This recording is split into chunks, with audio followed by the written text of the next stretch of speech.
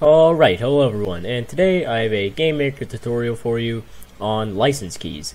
Now this is just the basic, basic parts of it, just some basic encryption in certain parts, and just showing the license key. You can use this for a lot more, you can upload it to a web server, and uh, then if someone else puts in a key or another key is generated, and if it's already taken, then a new key will be generated. But basically, I it's very basic project right now. I just have a room, this is room test, it's just a green background, 60 FPS, uh, 640 by 480, and I have my object uh, key show in there. Now key show, I should name this key hash because we're creating key hash. Um, so basically, in the create event, this is going to get the key, it's going to create a key, generate a key, and save it to a file. Now this file is called keyhash.ini. It's an ini file just because it's a configuration file. So if that file doesn't exist, so if we haven't created it, if it's not created, we're going to create the file using ini open. It's going to create it. Now, you only need to call randomize once in this entire project, just because it's you only need to call it once. It'll randomize like every single time it's created. So, anytime that the file's not created, we're going to create it. We're going to randomize these, and we're going to let uh, we're going to get a key number and a key letter. Now, you could put in like little phrases in these too, instead of just the alphabet. I just made it basic. I put for the key number, we're rounding, so it's going to be a whole number, or a, a, not a decimal, and it's going to be between 1,000 and 999. So that gives you a lot of keys that to give out to people. You can expand this value here. I just made it so that I know that if it's my game, then we're going to have a four digit uh, code of numbers, and then we're only going to have one letter. So you can customize this any way you want. This is just a simple generator. So it's going to get a key number, it's going to get a key letter, and uh, I just capitalized a few of these just to random, make it more random. So then we're going to encrypt these. So we're setting up a new variable called save number. So this we're encrypting the number, not the letter. Because the letters just you know if you change that whatever it's not that big of a deal. It's hard to get the same number then. So uh, basically we're encrypting the number. We're to use base 64 encode. So we're going to encode it.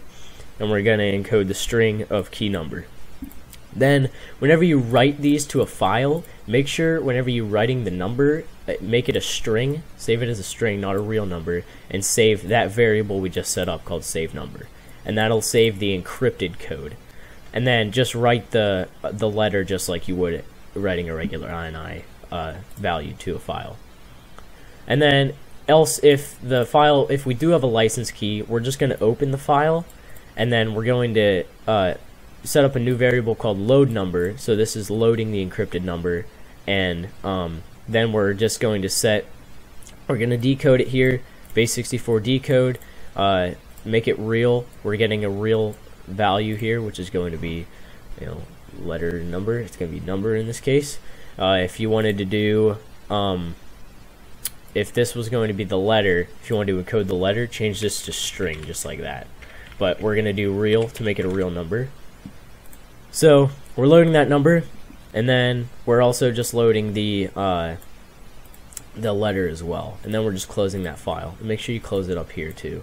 So now, and then in the draw event, this is really basic. I just set this to center, and we're drawing it right in the center of the room. And whenever you draw the license key, make sure you do the number, then the letter, or the letter, then the number, whatever you want to do. Just make sure you draw it correctly. So what I'm going to do now is I'm going to search for where the game is saved, because I think I ran this before for a test. So I have to find the folder. It's called license key test. This is the key hash. This is what the file will look like. If you encrypt the letter, it's going to be all like it's going to be similar to this one. This is how they encrypt it. And then uh, we just yeah, this is how the file is going to look. This is the encrypted number. This is the non-encrypted letter. So now I'm just going to delete this file so I can show you it being randomized.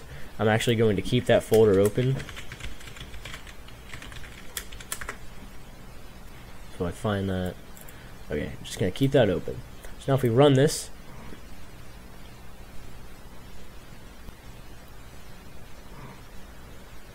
Okay, so it gives me a license key. This license key is 6170C. Now if we exit out and if we run it again, it should give us the same exact license key. And there we go, it's the same license key. And you can do that as many times as you want, it will always give you the same license key. So if we open up that folder, here's our new key hash. C is our letter, the encrypted number. And then if we delete this, it's going to give us a different uh, license key this time. And there we go, we get a different license key. And if we exit out, and if we launch it again,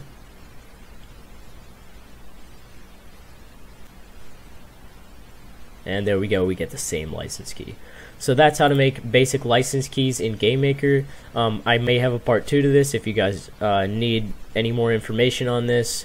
Uh, it's basic, it's just really basic INI writing and you know, if you want to have a, a web server controlling all these license key or getting a license key from there, it'd just be like my updater tutorial. Um, if I have enough time, I can mess around with this for the online part and I can make a tutorial on that if you guys want. But anyway, that's basically it for now. So thank you guys for watching and hopefully you enjoyed. Be sure to like and subscribe and comment if you need help or anything. And uh, I'll see you guys next time.